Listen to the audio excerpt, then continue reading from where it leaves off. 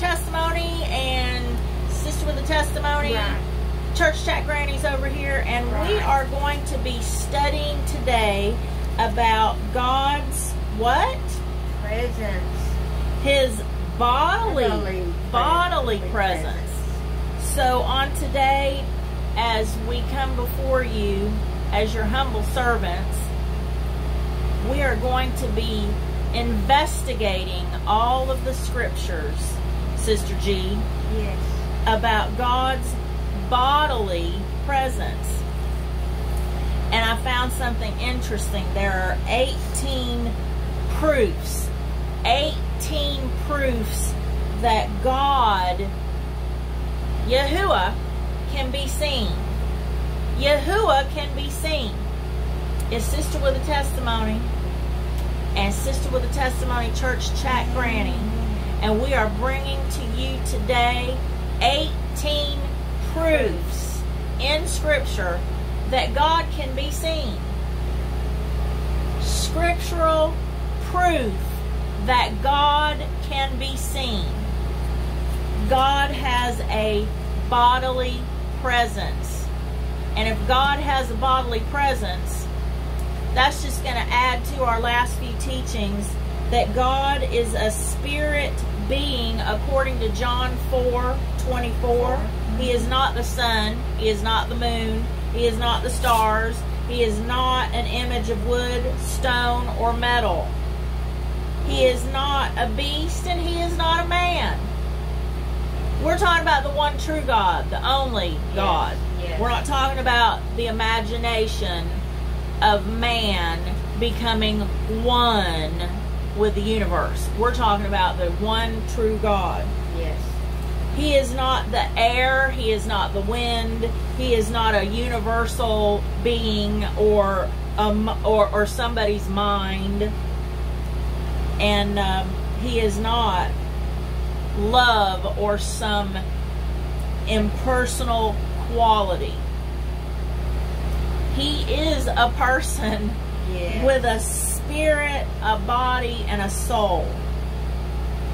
He has a personal spirit like that of angels and like that of a man, except his body is a spirit substance instead of flesh and bones like we are.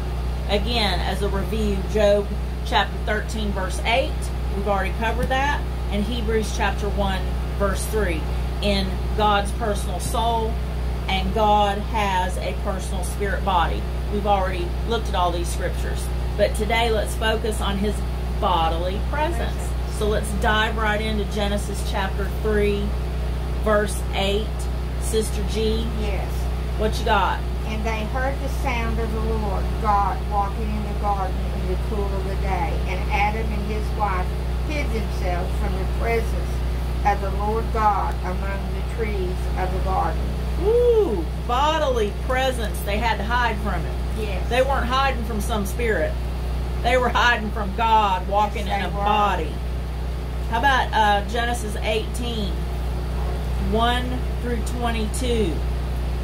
He goes from place to place in a body like all other persons. What you got? Yes, Genesis 18, 1 through 22. Then the Lord appeared to him by the terebinth trees of Mamre as he was sitting in the tent in the heat of the day. So he lifted his eyes and looked, and behold, three men were standing by him. And when he saw them, he ran from the tent door to meet them and bowed himself to the ground. And he said, My Lord, if I have have now found favor in your sight, do not pass on by your servant. Please let a little water be brought and wash your feet and rest yourself under the tree. And I will bring a morsel of bread that you may refresh your hearts. After that you may pass by, inasmuch as you have come to your servant. And they said, Do as you have said. So Abraham has hastened into the tent to Sarah and said, Quickly make ready three measures of fine meal, knead knead it, and make cakes. And Abraham ran to the herd, took a tender and good calf, gave it to a young man and he ha- hastened to prepare it. So he took butter and milk and the calf which he had prepared and set it before them, and he stood by them under the tree as they ate. And they said unto him, Where is Sarah thy wife? And he said, Behold, in the tent. And he said, I will certainly return unto thee according to the time of life. And lo, Sarah thy wife shall have a son.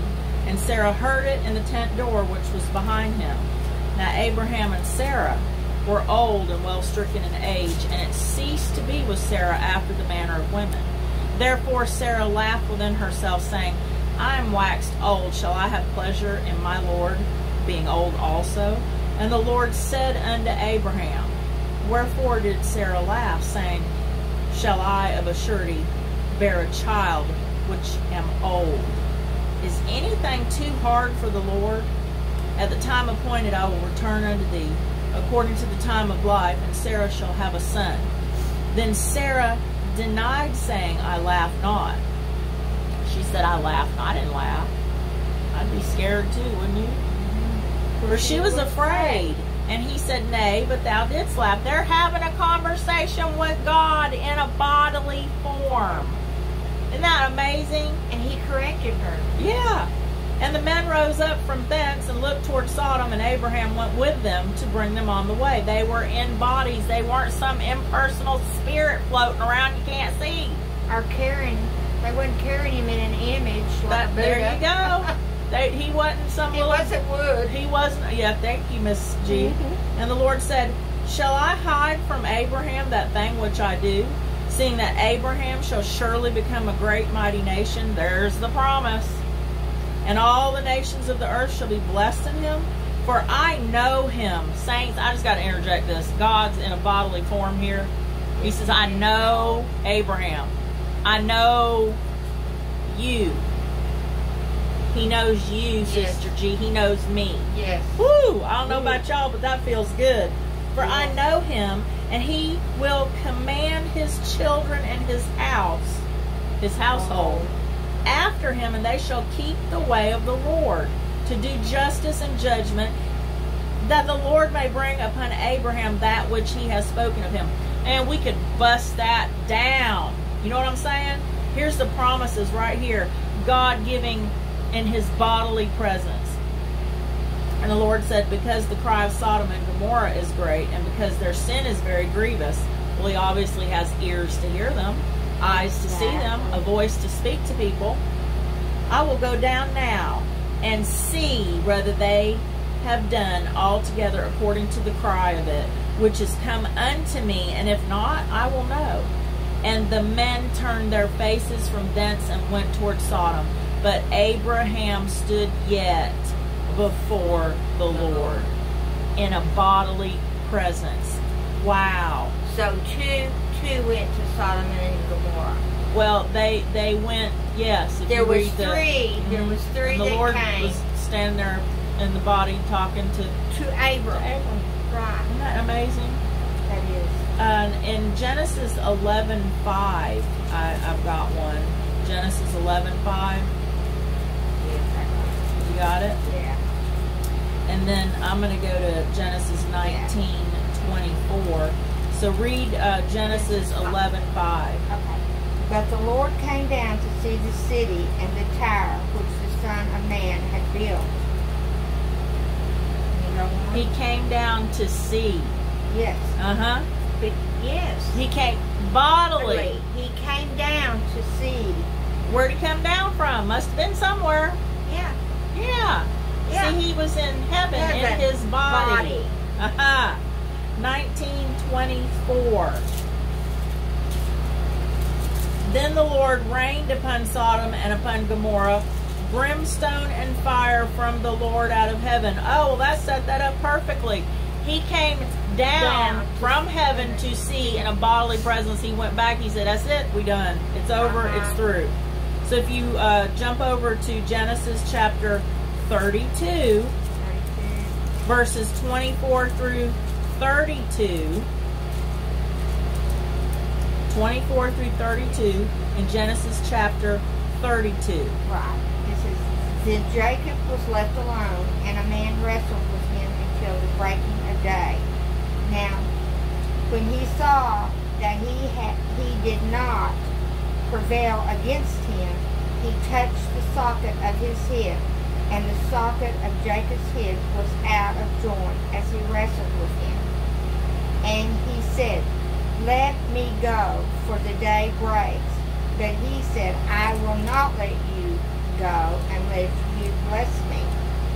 So he said to him, What is your name? And he said, Jacob. And he said, Your name shall no longer be called Jacob, but Israel, for you have struggled with God and with men and have prevailed. Then Jacob asked him, saying, Tell me your name, I pray. And he said, Why is it that you ask about my name? And he blessed him there. And Jacob called the name of the place Peniel, Peniel. Peniel, for I have seen God's face to face. What? I have seen God face to face. Wow, wait a minute. And my I life- have seen God face to face, and my life is preserved. Preserved. Now, I just want to interject something. This is not God in his glorious light. No. This is God in a physical body. Okay? We need to make sure we understand he has a bodily presence. But the Word of God says that no man shall look upon the Lord in his glory and live. So God has a bodily presence. And they're seeing him in that bodily presence, not in the spirit form in his glory. No. We'd be dead. Yes. The only way that's going to happen is is in spirit. Right. So there's a little bit more that. I just had to interject that. Okay. Just as he crossed over Peniel for the, for the sun rose on him, and he limped on his hip. Therefore, to this day, the children of Israel do not eat the muscle that shank. The muscle that shank. hmm The muscle that shank. Which is upon which the hollow of the which is on the hip socket because he touched the socket of Jacob's hip and the muscle. Isn't that, that isn't that amazing? So God must have a body, people. Yes, because Wake up. God has a body. He's not some impersonal floating airwave. If you go over to uh, Genesis 35, verse 9, check this out. This is amazing. This is so cool. God is real, saints. Genesis 35, 9. And God appeared unto Jacob again when he came out of Padaram and blessed him. And God said to him, Thy name is Jacob. Thy name shall not be called Jacob anymore, but Israel shall be thy name. And he called his name Israel. I love it. God comes in his bodily presence, says, I'm fixing to change your name. Saints, it's about time we had a name change from self to unself. Let's just get rid of the self and say, I'm a living sacrifice unto God the Father. Yeah. I'm a living sacrifice. Change my name, Lord. I want my last name to be your name. I don't want my first or last name to be anything about me anymore. I want it to all be about Him. Yeah. What is He saying about me? Verse 11 And God said unto him, I am God Almighty. Wow. Where's the reverential fear of the Most High God? It's like, woo. And God said to him, He appeared to him and He spoke to him, I am God Almighty. Be fruitful and multiply. A nation and a company of nations shall be of thee, and kings shall come out of thy loins. And the land which I gave Abraham and Isaac to thee I will give it, and to thy seed after thee will I give the land.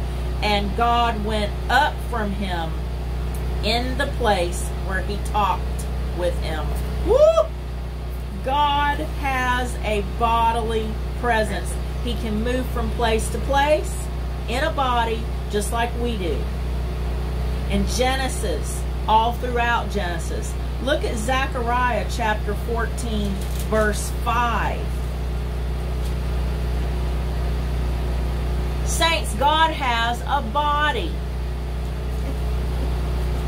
Zechariah 14, verse 5 And ye shall flee to the valley of the mountains, for the valley of the mountains shall reach unto Alzai. Ye shall flee like as ye fled from before the earthquake in the days of Uzziah, king of Judah, and the Lord my God shall come, and all the saints with thee. Wow. In a body, not a spirit that you can't see, not some invisible force, a body. Isn't that awesome? And then if you come back to Daniel chapter 7, verses 9 through 14, Daniel chapter 7, verses 9 through 14. I watched till till thrones were put in place and the ancient of days were seated. His garment was white as snow, and the hair of his head was like pure wool. His throne was a fiery flame. It wheeled a burning fire. A fiery stream issued and came forth from and before him. A thousand, thousands ministered to him. Ten thousand times ten thousand stood before him. The court was seated, and the book was open. I watched him because of the sound of the pompous words which the horn was speaking. I watched till the beast was slain, and its body destroyed and given to the burning flame. As for the rest of the beasts, they, they had their dominion taken away, yet their lives were prolonged for a season and a time. I was watching in the night visions, and behold, one like the Son of Man, coming with a cloud of heaven. He came to the Ancient of Days, and they brought him near before him. Then to him was given dominion and glory and a kingdom, that all peoples, nations, and languages should serve him.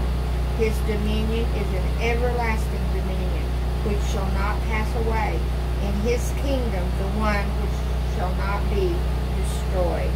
The Ancient of Days we know as Yahushua Hamashiach, and he's sitting on the throne, Throne. the Ancient of Days. Days. Wow. Wow, wow, wow. Woo! Let's go over to the New Testament. Titus 2.13. Titus 2.13 says, looking for that blessed hope and the glorious appearing of the great God and our Savior Jesus Christ. Now think about that. We are waiting for that blessed hope. We're looking for it. We're watching. We are waiting for that glorious appearing. And I want to show you one other thing in Acts chapter 7. Let me see. Acts chapter 7, verses 56. Yeah, we're going to look at Acts 7:56. New Testament scriptures. And said, Behold, I see the heavens open and the Son of Man standing on the right hand of God. This is Stephen when they were killing him. Then they cried out with a loud voice and stopped their ears and ran upon him with one accord. That's when they stoned Stephen to death. And they cast him out of the city and stoned him. And the witnesses laid down their clothes at a young man's feet whose name was Saul. That's the Apostle Paul. And they stoned Stephen, calling upon God and saying, Lord Jesus, receive my spirit. He seen God in his bodily form. He was on earth, and God is in heaven. Yes. And if you break it down, you're going to see he was calling upon God, saying, Lord Jesus, receive, Receive receive my spirit. One Lord, one faith, one, baptism, Uh-huh. one name that is above all names, the Lord of Lords and the King of Kings. You cannot make this stuff up. It's just that simple. No. You can't make it up. You No. can't. You well, you can, But um, And it has been, and it has been done. Well, it is it's- done. over and over and over Over. again. I'm going to go back to um, Zechariah chapter 14. And we read verse 5. But if you run down the scriptures, if you just, you know, read down, verse 9 says, And the Lord shall be king over all the earth. In that day there be one Lord, and his name one. One. Not three. One, not three. I know you're talking about Jesus said, I and the Father am, are, we, we won. Not W O N, because they already won. But I'm talking about O N E. Look at that.